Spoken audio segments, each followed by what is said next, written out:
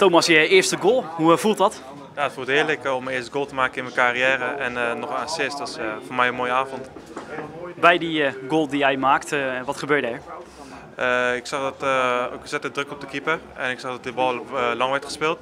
En daardoor kon Thijs Timmermans komen, verder koppen door, naar voren. En ik zag dat hij net over de speler heen ging, en daar, waardoor ik in één keer kon uithalen. En daardoor ging hij erin. Op het moment dat jij aanstal te maken om te schieten, dacht ik, waarom loopt hij niet door joh? Maar hij ging erin.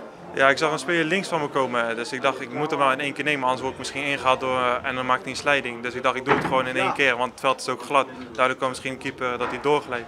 En zo was het en uh, dan zit hij mooi erin. Wat was het voor een week voor je op het moment dat je hoorde dat de Zwarts geblesseerd was en jij hoorde dat je kon gaan spelen?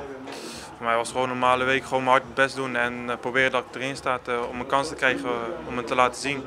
En dat uh, heb ik nu denk ik wel gedaan. Ik heb je bij Jong AZ zien uh, voetballen. Natuurlijk doe je dan je best. Maar je hebt ongelooflijke werkverzet uh, in, in deze wedstrijd. Het viel me echt op. Ja, dat was ook de bedoeling dat ik veel druk zou zetten. En dat ik de, dat de centrale zo moeilijk zou maken. En, als, en dat, we, dat de middenvelders zou uitstappen dan om druk te zetten. En dat is denk ik wel goed gelukt. Want is dat gezegd ook tegen je? Wat mij opviel bij die, bij die goal van jou. die bal die valt er eerst overheen. En eigenlijk zou 99 van de 100 spitsen hoofd naar beneden gooien. Jammer. Jij rent terug, waardoor je op het randje geen buitenspel staat. Dat, dat, dat zegt toch wat over je inzet vandaag? Ja, gewoon uh, hopen dat die bal valt en dan uh, ja, gewoon één op één gaan met de keeper en dan zit hij. Ja. Je bent een uh, lange, sterke speler. Je hebt vandaag je lichaam gebruikt. Dan komt opeens die goal van Smit. En je hebt ook een geniaal overstapje in huis. Of, of wat deed je precies? Ik hoorde dat uh, Renny zei in, in je rug, in je rug. Dus ik dacht, ik geef hem in één keer mee. En daar waardoor hij in één keer één op één met de keeper stond.